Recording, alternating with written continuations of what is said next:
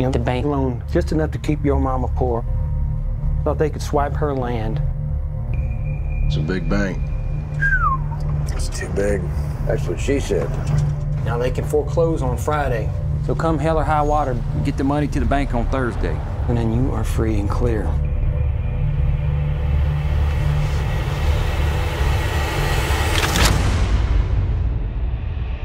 Little brother, go get that money. Good morning, folks. Open the drawers. You got a gun on you, old man? You damn right I got a gun on me. Y'all gonna steal my gun too? We ain't stealing from you, we're stealing from the bank. Woo! You hear about these bank robberies? You may get to have some fun before they send you off to the rocking chair yet. I may have one hunt left in me. Mama, in that been a while? Three months.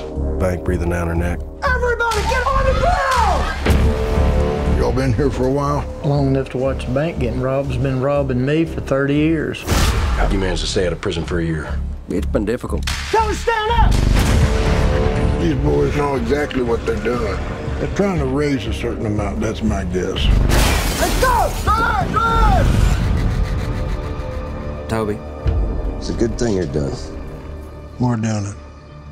Every step of the way. You want a little advice? Go see your boys in the mall. You know, you talk like we ain't gonna get away with this. I never met nobody got away with anything, ever. And why in the hell did you agree to do it? Because you asked, little brother. Mama, take this badge off of me. All right, I think I got these boys figured. He's got no record. He's never been arrested. He don't fit the bill, Marcus. You may be hearing a lot of things about me and your uncle. It's getting dark, too dark to see. Whatever I hear, I won't believe. No, you believe it. I did all of it. Like knocking on heaven's door. Love you, Toby. Mean it. I love you too.